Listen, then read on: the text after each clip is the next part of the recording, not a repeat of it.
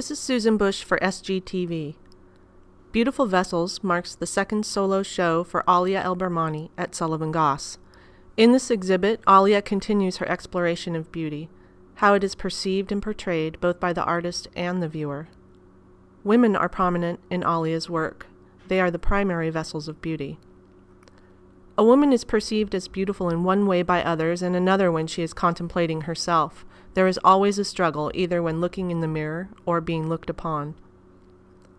Alia chooses quiet, private moments of reflection that reveal her subject's inner drives strength, openness, directness, and reserve. The items that women use to adorn and reassure themselves of their beauty are also featured in this exhibit perfume bottles, lipstick, and jewels. Alia's still life paintings offer poetic, even mysterious thoughts on beautiful vessels. This modest bowl on a folded cloth holds kidney beans. Another holds rice.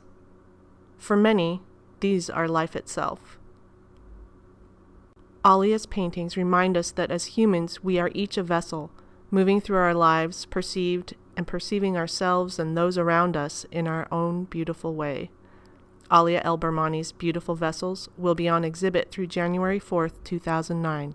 Come see them.